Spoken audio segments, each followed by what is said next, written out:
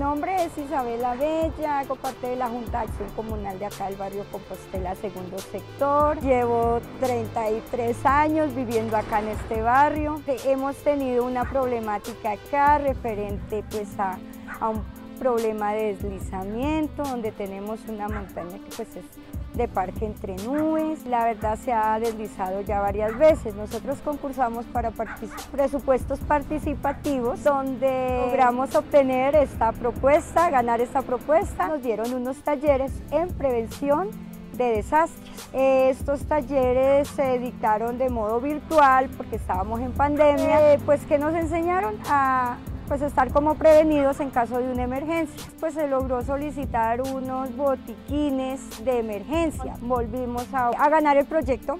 Esta vez los talleres van a ser de forma presencial, entonces eh, pues estamos a la espera de iniciar también ese proceso.